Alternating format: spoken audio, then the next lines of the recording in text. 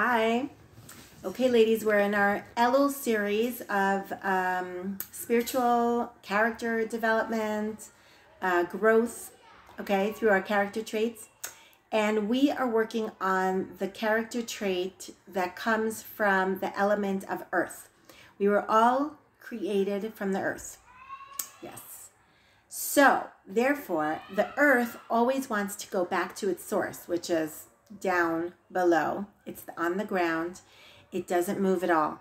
As opposed to the other elements, the element of air, which is kind of like all over the place, the water, which spreads and flows, and the fire, which definitely strives upward and, and spreads and all kinds of stuff. Um, earth doesn't move. And that is a trait within all of us that uh, leads to laziness, sadness, despair, hopelessness, lack of motivation, lack of energy, death, really. Rav Noach Zatzal used to say that when we kill time, right? You know, do you ever hear that concept, kill time? Right? If you're just sitting around, you're watching Netflix, you're pigging out, you're just lying on the couch with your pajamas on, you are killing time. And what that means is that you are slowly but surely in installments committing suicide. I know that sounds a little harsh, but that is what you're doing because when we stick to our comfort zone and we're not motivated to move, to grow, to strive, to put in effort, we're basically um, slowly but surely just going back to the earth, which is what death is. It's the ultimate comfort, no pain. So that is not fun, right? Nobody wants to be stuck in that element. Nobody wants to be stuck with those character traits. As we said yesterday, I think that it's the root of all evil. It's not fun, okay? Now, Netivot Shalom today will tell us what the root of sadness and misery is. And we all want to get out of that.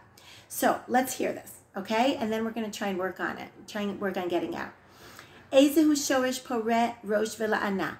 What is that root that keeps sprouting new branches and new flowers and new leaves? Oh no, what is that root? והרקע שעליו צומחים המידות הרעות, that all character traits are basically founded upon and are based on. What is that shorish? What is that root? כבר קבעו חכמי המוסר כי הוא האנוכיות שבאדם.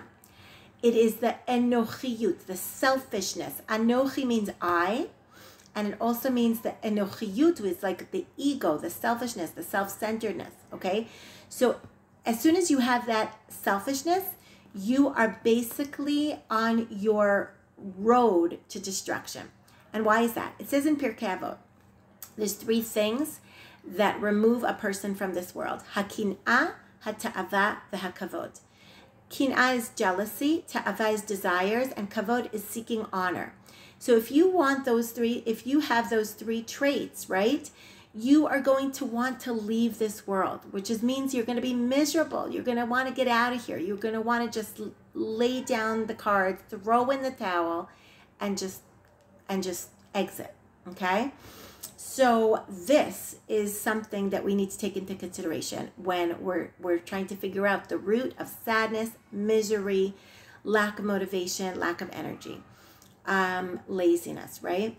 So it's it's selfishness because selfishness leads you to jealousy, right? Because if you're self centered and you see all these people posting stuff on Instagram and Facebook about these beautiful vacations that they took with their wonderful husbands and their wonderful children and their religious children and their beautiful children and their healthy children, right? And their grandchildren, even, and there seem to be amazing marriages, right?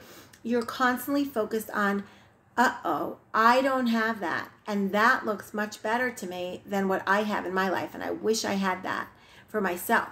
Now, why? Why aren't we just happy for them? Because we're selfish. We want stuff. We are jealous because we're selfish. And when we're jealous and when we're selfish, we are miserable. Yeah? Come on. We are miserable right? There's always going to be somebody who's more skinny than we are and more beautiful than we are and has a better marriage than we have and have better kids than we have and has no kids with special needs and has no kids who are off the derech. I mean, you know, like there's going to be people out there who have everything that you don't have. and you're going to be miserable. Okay? So, leads to jealousy, leads to ta'avot, leads to desires because if you're mitoch sheshakua be'enochiyut, because you're stuck in yourself, what I want, me, me, me, then you're also going to be uh, shakua gam b'milui ta'avot libo. He's always going to be looking for how to fulfill his desires and how to satisfy himself, right? And also, humitga'eh. He also is arrogant and he wants all the honor in the world. Kihu rotzel alot al chaverav He wants to be better than his friends, so he wants the limelight. He wants to be out there. He wants to be the best teacher. He wants to be the best leader. He wants to be the best health coach. He wants to be the best, um, the richest, whatever, you know, the most famous um, person. You know, like everything that when we're self centered, we are miserable because we are constantly looking to fulfill things that are outside of ourselves that are not what we got in life. Okay. So, um, obviously, if we don't have certain things and we're jealous of other people and we're looking for desires and we're looking for honor, we are always going to be miserable. And that's not what we want. We want to get out of that.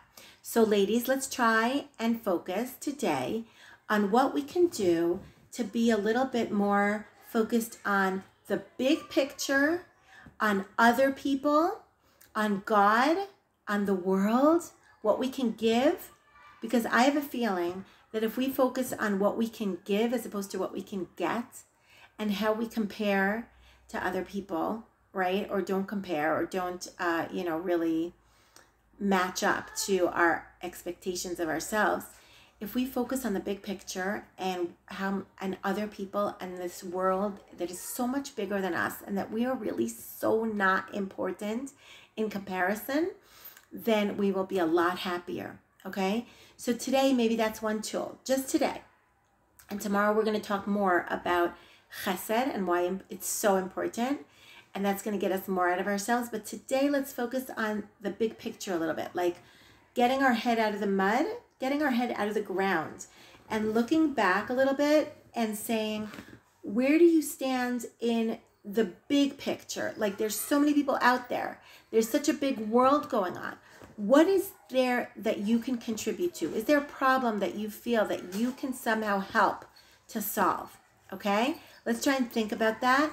And let's do one action today that's helping another person. Just looking out there and seeing another person's pain, another person's troubles, another person's issues, and seeing how we can help them and go and do it. All right? Tell me what you did. Have a good day.